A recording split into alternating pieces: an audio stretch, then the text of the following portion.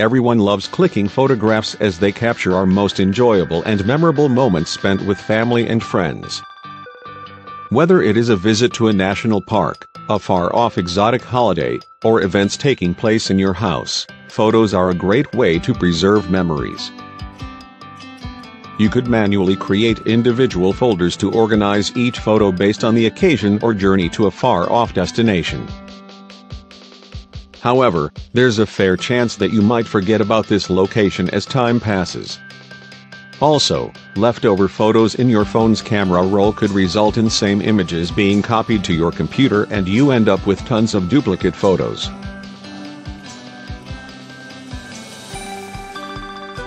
Eventually, your hard drive gets overwhelmed with photos and manual organizing is certainly not an option, with nearly thousands of photos on your system. Introducing SysTweak Photo Organizer that makes this task much easier. Once installed on your computer, simply launch Photo Organizer and specify the location or scan entire system for image files.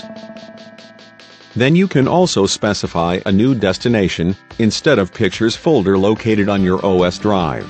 It also lets you create custom subfolder hierarchies based on date, year, month taken or camera model.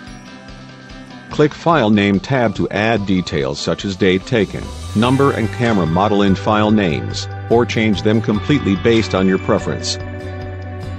You can also choose whether newly organized photos must be copied to organized folder or physically moved to the new location, to save disk space. You could also remove any duplicate images by simply checking Remove Duplicates box, in case you feel they exist on your system. Exclude folder option helps users to omit any folders or locations you do not want scanned by Photo Organizer. Click on Next and Photo Organizer will begin importing all image files from specified location to organized folder without any hassles. Once scan is complete, you will be automatically navigated to Photo Organizer File Viewer, where you can view all organized photos based on tags and metadata.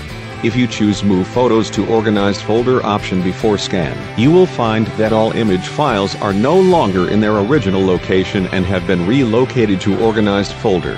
So, stop wasting time with managing your photo library and choose Photo Organizer today for a quick solution.